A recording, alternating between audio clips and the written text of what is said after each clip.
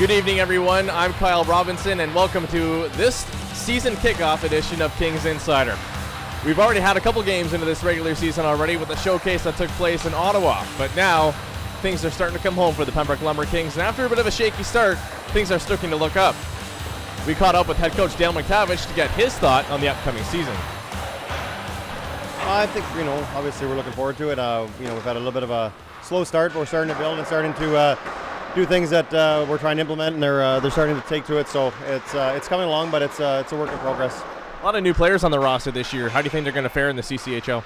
Well, I think they'll be good. You know, sometimes it's an adjustment coming into a new league, a new team, and living away from home for the first time. So you just have to be patient and uh, give them a chance to get acclimated to the surroundings and to these different way we want them to play and, uh, and just the, the town of Pembroke. So it, it takes a bit of time, but uh, you know we'll give them give them some games to, to get used to uh, used to it and get their uh, their feet going.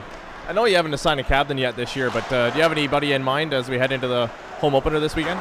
Uh, we're going to go with the four the four captains we have right now. Um, I think we have a, a good group uh, with those guys, and I think um, you know if someone steps up from that group, then we'll, we'll make that change at that time. Now, uh, heading into training camp, there was a lot of question marks about a lot of the players, whether they're going to stay or going to go. Was there any one player in particular that kind of really caught your eye?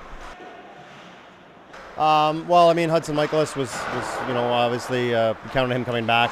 Found out kind of late that he that he wasn't coming back, so obviously that was a bit of a, a shock. Um, tough to replace uh, this late in the year, so um, you know we'll we'll keep our eyes open. But at the same time, it's a great opportunity for the guys that are here, and um, you know they have an excellent opportunity to play up in the lineup and power play penalty killing. So it's really wide open now, and it's, it's a real good evaluator for myself to, to see where they're at. What are you looking for in the first particular month of the season? Uh, I just want to see guys how they're competing.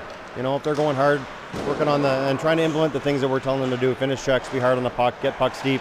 Um, if they're doing those things and really trying to, to learn and improve, um, and how coachable they are, and what kind of compete level they have is, is the biggest thing. Goaltending's also been a strong forefront for you this year. Do you expect that to continue going on?